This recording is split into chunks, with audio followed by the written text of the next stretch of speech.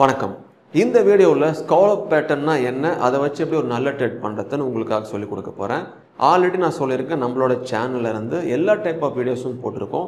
கேன்சிக் series அதே போல் intraday strategy long டேர்முக்கு பிரேக் அவுட் ஸ்டாக்ஸு இண்டிகேட்டர்ஸ்க்கு அப்படின்னு. அதே வரிசையில் ஷார்ட் பேட்டர்னில் இப்போ இந்த கேன்சிக்ஸை வச்சு எப்படி ஒரு நல்ல ட்ரேட் பண்ணுறதுன்னு உங்களுக்காக சொல்லிக் கொடுக்க போகிறேன் ஸ்டாக் மார்க்கெட்டை கற்றுக்கணும்னு நினைக்கிறவங்களுக்காக எங்களோட டீம்லேருந்து கடந்த சில வருடங்களாக ஃப்ரீயாக three level technical analysis program வந்து கண்டக்ட் பண்ணிட்டு இருந்தோம். இப்போ நவம்பர் மந்தோடைய டேட்ஸ் எல்லாமே நாங்கள் அறிவிச்சிட்டோம். அதுக்குண்டான விவரங்கள் உள்ள வீடியோவும் நான் போட்டுட்டேன். கீழே டிஸ்கிரிப்ஷனில் அந்த வீடியோ லிங்க் இருக்குது அதையும் செக் பண்ணிட்டு விருப்பம் இருந்தால் நீங்கள் கிளாஸுக்கு ரிஜிஸ்டர் பண்ணிக்கலாம். சரி வாங்க இந்த ஸ்காலோ பேட்டர்னுடைய கண்டிஷன்ஸ் என்ன? அது எப்படி ஒர்க் ஆகும்? எங்கே ஸ்டாப்லாஸ் வைக்கலாம்? எங்கே என்ட்ரி கொடுக்கலாம்? இந்த விவரங்கள் உங்களுக்கு சொல்கிறேன் இப்போ நீங்கள் டிஸ்பிளேல பார்த்துட்டு இருக்க இந்த இமேஜ்லேருந்து உங்களுக்கு என்ன புரிய வருதுன்னு கொஞ்சம் நீங்களே ரிசர்ச் பண்ணி பாருங்கள் இந்த பேட்டர்னுடைய பேரை வச்சு சிலர் கண்டுபிடிச்சிருப்பீங்க. இங்கே என்ன நடக்குது அப்படின்னு இருந்தாலும் நான் உங்களுக்கு சொல்கிறேன் ஒரு எக்ஸாம்பிளுக்கு நல்லா வந்து கீழே வந்துட்டு இருந்துச்சு. வந்ததுக்கு அப்புறமா வந்து கொஞ்சம் கன்சல்டேட் ஆகிட்டே இருக்குது ஸோ கன்சல்டேட் ஆகிட்டே இருந்தாலும் கன்சல்டேட் ஆக தொடங்கின அந்த லோ எல்லாத்தையும் நம்ம எக்ஸாம்பிளுக்கு சும்மா வந்து ட்ராப் பண்ணோம் அப்படின்னா பார்க்க நல்லா வளைவாக வந்து தெரியும். ஸோ அதுதான் இங்கே நான் வந்து உங்களுக்காக ட்ராப் பண்ணி வச்சுருக்கேன். இங்கேருந்து கீழே இறங்கிட்டே இருக்குன்னு வச்சுக்கலாம். ஃபுல்லாக கீழே இறங்குனுச்சு. ஒரு ரேஞ்ச் தொட்டு திரும்ப இந்த லெவலில் தொட்டுச்சு மேலே பிரேக் அவுட் பண்ணி மேலே போகல. கொஞ்சம் கன்சல்டேட் வந்து ஆகிட்டு இருந்துச்சு. கன்சல்டேட் ஆகிட்டு இருக்கிற அந்த ரேஞ்சு வந்து பாருங்கள் ஒரு கட்டத்தில் பிரேக் அவுட் ஆகுது.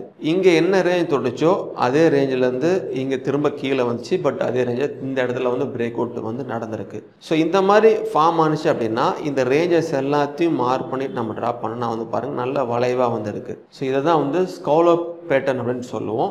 இந்த மாதிரி வந்ததுக்கு அப்புறமா இந்த இடத்துல தான் தொட்டு ரிஜெக்ட் ஆக ஆரம்பிச்சிச்சு. தொடர்ந்து மேலே போக முடியாமல் அதுக்கப்புறம் கன்சல்டேட் ஆகிட்டு இந்த ரேஞ்சிலேருந்தும் கீழே உடைச்சி வந்துச்சு. ஸோ இந்த ரேஞ்சை உடைக்கிற இடத்துல நம்ம பையிங்க்கு பயன்படுத்தலாம். ஸோ பையிங் பயன்படுத்தணும் அப்படின்னா நல்லா வந்து மேலே போக வாய்ப்புகள் வந்திருக்கு ஸ்டாப் லாஸாக வந்து இந்த கன்சல்டேட் ஆன அந்த ரேஞ்சில் இருக்கிற லோ வந்து நம்ம ஸ்டாப் லாஸாக வந்து பயன்படுத்தலாம். ஸோ இதுதான் இதோடைய கண்டிஷன் ரொம்ப சிம்பிள் இது அடிக்கடி ஃபார்ம் ஆகாது. மீடியமாக வந்து இந்த மாதிரி பேட்டர்ன் வந்து ஸ்டாக் மார்க்கெட்டில் நடக்கும். அது நடந்துச்சு அப்படின்னா ரீசனபிள் அது தகுந்தாற் போல் இந்த மாதிரி பேட்டர்ன் வந்துச்சு அப்படின்னா மேலே போக வாய்ப்புகள் வந்திருக்கு ஸோ இந்த மாதிரி ஃபார்ம் ஆரத்தை நீங்களும் ட்ரா பண்ணி பாருங்கள் ட்ராப் பண்ணிவிட்டு அதுக்கப்புறமா மேலே தான் போயிருக்கு அப்படிங்கிறத நீங்களும் கொஞ்சம் பேக் டெஸ்ட் பண்ணுங்கள் அப்போ தான் உங்களுக்கு வந்து தெரியும். ரொம்ப சிம்பிளாக இறங்க முகமாக இருக்கும் பொழுது அந்த ரேஞ்சை உடைச்சிட்டு மேலே போக முடியாமல் ஸோ அது கன்சல்டேட்டாக வந்து கொடுத்துட்டே இருக்குது கன்சல்டேட்டு ஆன அந்த ரேஞ்சஸ் எல்லாத்தையும் ட்ராப் பண்ணோம் அப்படின்னா நல்லா வந்து ஒரு வளைவாக வந்து இருக்கும். எந்த இடத்துலேருந்து ரிஜெக்ட் ஆனிச்சோ அதே இடத்துல திரும்ப ரிஜெக்ட் ஆகிட்டு அப்போ அந்த இடத்துல பிரேக் அவுட் ஆகும் சமயத்தில் நல்லா மேலே போக வந்து வாய்ப்புகள் வந்துருக்கு இது அப்படியே ஆப்போசிட்டாக செல்லிங்க்கும் வந்து நடக்கும். செல்லிங்கில் நல்லா வந்து அப் அண்ட் போயிட்டு இருக்குது ஒரு ரேஞ்சை தொடுது திரும்ப கீழே வந்துருச்சு. அப்புறம் கன்சல்டேட் ஏறி இறங்கி வந்து நடந்துட்டு இருக்கு. ஸோ மேலே இருக்கிற அந்த ரேஞ்ச் ஹை எல்லாத்தையும் மார்க் பண்ணாமல் இந்த மாதிரி வளைவாக வந்து அமையும். இதை வச்சு புரிஞ்சுக்கலாம். அதுக்கப்புறமா வந்து அந்த ரேஞ்சை உடச்சி மேலே போகலை அப்படின்னு.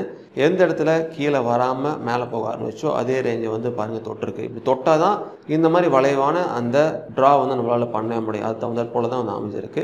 ஸோ எந்த இடத்துல இந்த மாதிரி அது கீழே வராமல் இருந்துச்சு அது பிரேக் அவுட் ஆகிற இடத்துல நம்ம செல்லிங் பயன்படுத்தலாம்.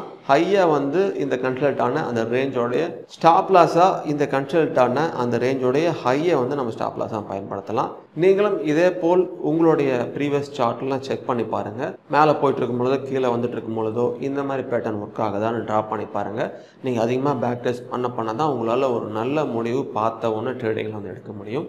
முக்கியமாக எல்லா ட்ரேடிங்களும் ஸ்டாப் லாஸ் போடணும். அதையும் மறந்துடாதீங்க. நான் சொன்னது போலவே எங்களோட பிளேலிஸ்ட்டும் கொஞ்சம் செக் பண்ணிடுங்க அதில் எல்லா டைப் ஆஃப் வீடியோஸும் போட்டிருக்கோம். கண்டிப்பாக அது உங்களுக்கு யூஸ்ஃபுல்லாக இருக்கும். Invest wisely for better future thank you